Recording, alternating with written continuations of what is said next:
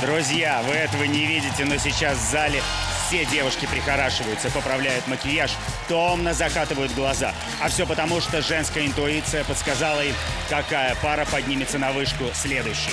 Разбиться этим участникам не грозит. А вот разбить пару женских сердец вполне по силам. Дмитрий Клоков и Михаил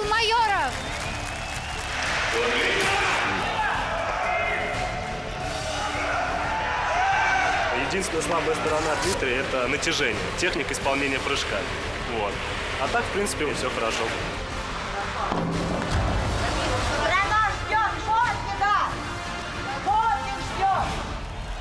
Я так рада, что мне досталось э, проводить вас к прыжку.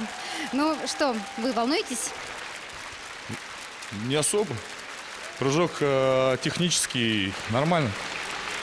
Дима за тренировки достиг высокого уровня. Я видел, как он прыгает, красиво смотрится. Я думаю, ничего сложного не будет. От парного прыжка я получу реально удовольствие, потому что я всю жизнь занимаюсь один. Мы солдаты. Нам сказали надо. Мы сказали есть. Серебряный призер чемпионата Европы и призер Олимпийских игр. Михаил Майоров, прыгун в воду, и штангист Дмитрий Клоков. Полтора оборота вперед с трехметрового трамплина. Коэффициент сложности 3,5. Высокий. Синхронно нужно сделать этот прыжок. Толкнуться почти под прямым углом, чуть меньше 90 градусов, 87. Потом поменять траекторию полета, создать вращательный импульс. Это Лена, жена Дмитрия Клокова слева. Итак, синхронное вращение. Ход в воду несинхронный. Клоков тяжелее в два раза.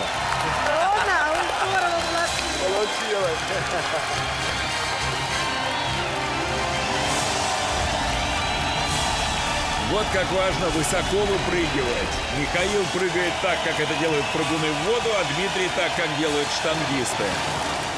Отсюда некоторое расхождение при входе в воду. Но все равно молодец.